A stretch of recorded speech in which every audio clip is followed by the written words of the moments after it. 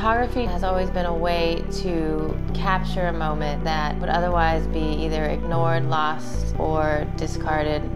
It's basically how I document the experiences I get to have and the experiences I get to share with other people. It's a career and a lifestyle. It's not something that you do from 9 to 5. It's something you do and live with every single day of your life. It's a way I can show my thoughts and emotions and create something that's meaningful to me. It fulfills every aspect of my life between printing and shooting and commercial work and artwork. It's everything. I was always kind of the live music photographer running around. That evolved into wanting to build and shoot portraits. My style of photography bounces between very honest emotion and almost surrealism. We've been together since about 2001, and at a certain point we just realized, hey, let's do this as a team. We mainly do fashion and portrait photography. Our style of photography is very, I think, artistic and very painterly. We like things to be beautiful. My style of photography is, the technical term or the academic term is called constructed photography. That whole handcrafted, scratch build, it's, it's the most important thing to us. The dioramas are usually very somber, so a little bit of angst, a little bit of sadness, but then when you really start looking at them, a lot of humor actually ends up coming out. I shoot conceptual photography. Style is something that gradually develops. You have to kind of push yourself to create your own elements. I like to try to capture the way people think or what they're thinking within the photograph by using kind of like other worldly means while still having it based in reality. Photography is my life. I'm an action sports photographer, and it's my favorite way of keeping me doing new things every day. The most important part to my process is to actually authentically be in the moment.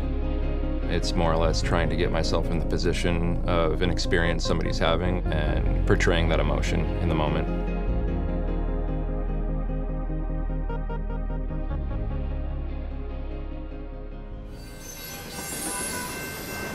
For this project, we were asked to test out the new Lytro camera and portray five different emotions. I decided to bring a film noir 50s sort of sensibility to the photo shoot. A style I thought would really allow me to push the look and complete the story. It meant that I really had to think through every aspect of the image. I seem to just move the car out. Yeah. Pull the car out a little bit, Yeah. angle it this way, and just get so low and get the concrete. Oh, I love this. Look at it. It's about finding the depth, pushing the composition to really give the viewer something to explore.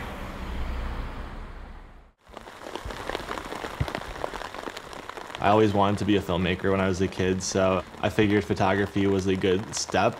You can set stuff up, you can still tell a story within a single image, and that's what I love about it. Half of the things in the Lytro camera are things that I've never had to do in photography before. I'm trying to express the given emotions. I'm trying to be able to tell a story and have different points hidden. Pre-production is the most important. Figuring out what you want, drawing it out, figuring out what you'll need to get the photo. Once I have it all planned out, then I'll just go and shoot it. Can we try a different hand pose? Can you keep your body angled like you're like reaching for it? yeah, yeah. yeah. I like that. I'm going to be using flour on the subject. I'm going to have it thrown and have it completely covering their body. When they move, it's going to drift off of them and kind of give this like broken look to it. So small zoom changes will actually affect, affect the, the depth more, more than you think. So it won't Yeah. change the composition too much, Okay. but it will give you better depth.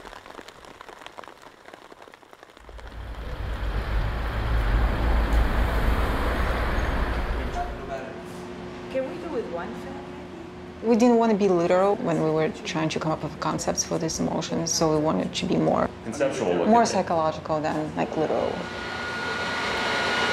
Can you have like a little bit, little bit of bend in your arm maybe? Yeah. Great. And you can just kind of like keep sort of like moving your arm like that. We made these very beautiful golden walls, backlit it uh, very nicely, and we had a very, you know, lovely uh, Alexander McQueen gown Nice dress action. with uh, some flowers in the foreground, and we and just with uh, the model's angle of her body, her pose, the movement of the dress, the wind. The light, the positive energy. We try to keep the elements very simple, but also very natural and very real.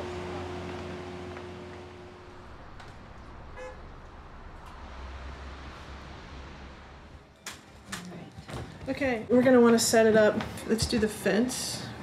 The animals are gonna be pretty close, so let's put them here. Okay. When I work with my own personal work, when I'm shooting the 8x10 camera, I'm using one lens. It's a super wide angle lens, which basically I have to set the camera inside the scene. I'm a little strapped for space in my Brooklyn apartment, so the Lytro camera is interesting because I've always struggled with depth of field in my large format, and this camera is going to allow me to focus on the foreground, the middle ground, and the background, something I can't do with just one piece of film. How's the lighting? The white wall here is a, a little bit. A little bit bright. Do you want me to bring this light, this four light, down a little bit?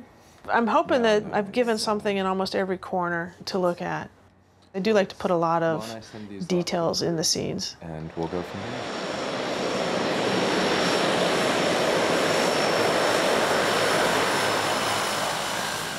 I took the camera through a lot of different push points. Like I tried to stretch the capability of the camera. Because of what this camera is, my challenge with it is to use the different focus points.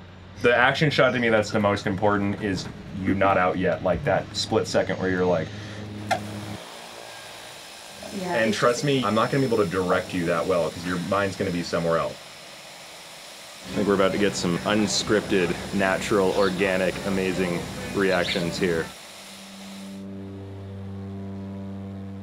Ultimately, I'm trying to achieve a deeper storytelling with these images. I'd like the viewer of some of these images to not only feel like they're there, but to also feel like they can see what the person in my frame is seeing as well.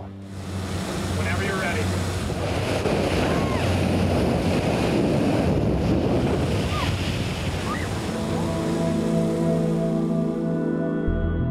Learning how to use the new equipment to best tell that story, the whole thing was a different experience.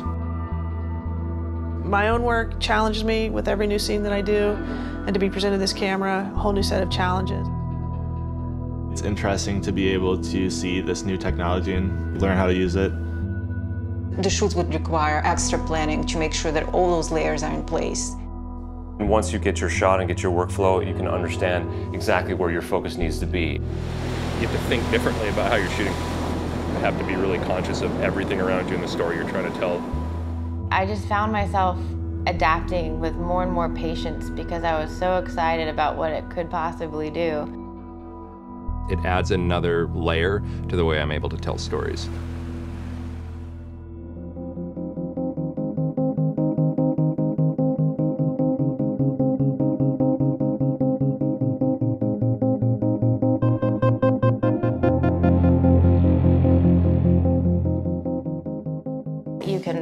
Tell a story with a photo by it being an experience for the viewer. You kind of have to click around and explore it a bit in order to see what the emotion might be.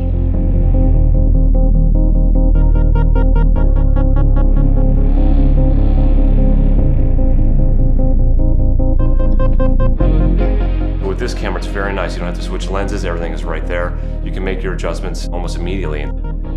It'll be fascinating to see how people latch on to the technology.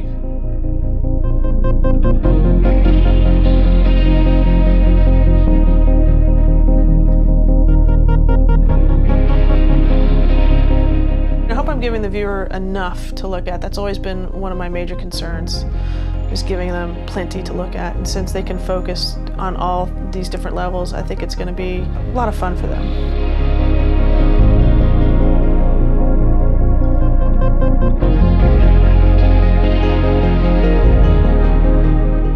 Was able to transform the environment and tell stories that I might not have been able to otherwise. You can see different elements that were hidden before and kind of discover your way through the photograph.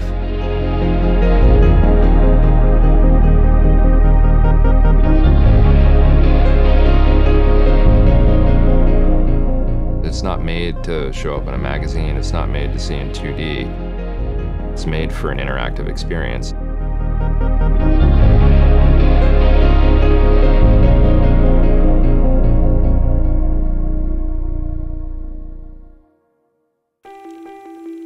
Think for us it's important that people get emotional connection to the image.